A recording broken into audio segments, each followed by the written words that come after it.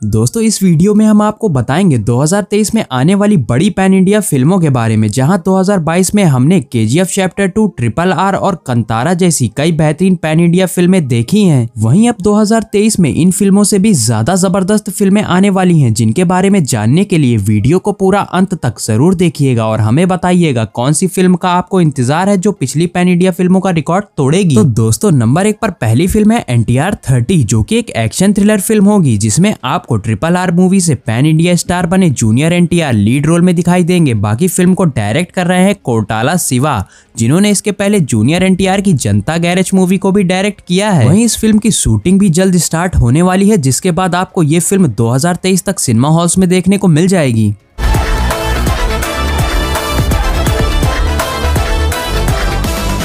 इसी के बाद नंबर दो पर है सूर्या 42 जो कि एक हिस्टोरिकल एक्शन ड्रामा फ़िल्म होगी, जिसे डायरेक्ट करेंगे शिवा। बाकी फ़िल्म के लीड रोल में आपको सुपरस्टार सूर्या और दिशा पटानी दिखाई देंगी। वहीं इस फ़िल्म की शूटिंग भी स्टार्ट कर दी गई है, जहाँ पे ये दोनों कई जगह स्पॉट किए गए हैं। और दोस्तों, सूर्या 42 मूवी को 9 सितंबर 2023 को पैन इंडिया लेवल पर लगभग 10 भाषाओं में रिलीज़ किया जाएगा।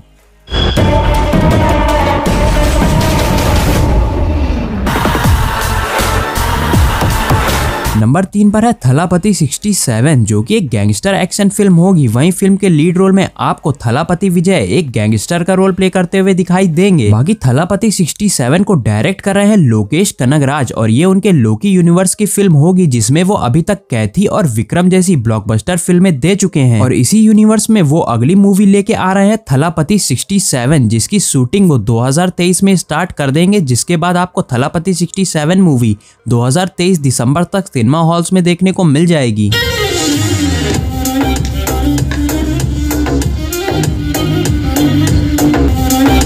नंबर चार पर अगली पैन इंडिया फ़िल्म होने वाली है, जवान, जो कि एक एक्शन ड्रामा फ़िल्म होगी, जिसके लीड रोल में आपको Shahrukh Khan double role play करते हुए दिखाई देंगे। वहीं शाहरुख के डबल रोल के साथ आपको फ़िल्म में दीपिका पादकोड़ और नयन तारा फीमेल लीड में दिखाई देने वाली है। इनके अलावा आपको फ़िल्म में विजय सेतुपति एक विलन का कैरेक्टर प्ले करते हुए नज़र आएँगे। बाकी फ़िल्म को डायरेक्ट कर रहे हैं अतली कुमार, जो की इसके पहले थलापति विजय की बिगिल और मार्शल जैसी ब्लॉकबस्टर फ़िल्म को भी डायरेक्ट कर चुके हैं, जिसके बाद आपको जवान मूवी में थलापति विजय का भी कैमियो रोल देखने को मिलेगा और जवान मूवी को पैन इंडिया लेवल पे 2 जून 2023 को लगभग सात भाषाओं में रिलीज़ किया जाएगा Ready.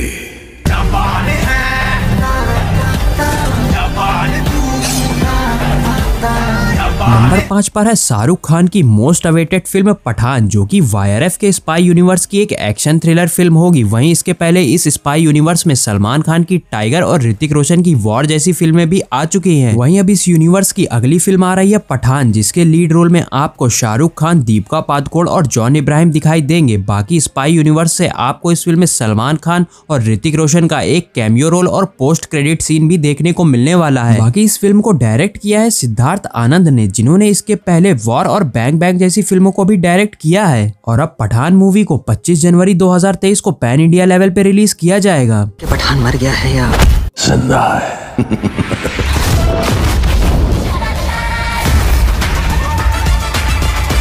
नंबर छह पर अगली पैन इंडिया फ़िल्म है इंडियन टू, जो कि 1996 की आई। कमल हसन की फ़िल्म इंडियन का सीक्वल होगी। वहीं फ़िल्म के डायरेक्टर और राइटर है एस शंकर, जो कि इसके पहले इंडियन, अपरिचित और 2.0 जैसी ब्लॉकबस्टर फ़िल्मों के भी डायरेक्टर और राइटर रह चुके हैं। बाकी फ़िल्म के लीड रोल में अब की बार आपको कमल हसन और काजल अग्रवाल के साथ कई और स्टार्स भी देखने को मिलेंगे। दोस्तों, इंडियन टू की शूटिंग 2020 में ही स्टार्ट हो गई थी, पर फ़िल्म की राइट्स की कुछ प्रॉब्लम हुई, जिसकी वजह से इसकी शूटिंग को रोकना पड़ा। पर अब इसके राइट्स की प्रॉब्लम को सॉल्व कर लिया गया है और इसकी शूटिंग फिर से स्टार्ट हो चुकी है जिसके बाद आपको ये मूवी 2023 तक सिनेमा हॉल्स में देखने को मिल जाएगी।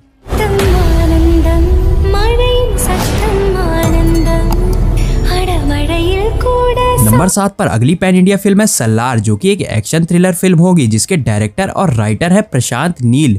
जो कि इसके पहले के चैप्टर वन और चैप्टर टू जैसी ब्लॉकबस्टर फ़िल्मों के भी डायरेक्टर और राइटर रह चुके हैं। और उनकी सल्लार मूवी के यूनिवर्स का हिस्सा होने वाली है मतलब कि सल्लार की कहानी के चैप्टर वन और चैप्टर टू से कनेक्टेड होगी। बाकी फ़िल्म के लीड रोल में आपको प्रभास, श्रुति हसन और जगापति बाबू एक विलन का कैरेक्टर प्ले करते हुए दिखाई देंगे। और सल्लार मूवी को 28 सितंबर 2023 को सिनेमा हॉल्स में रिलीज़ किया जाएगा।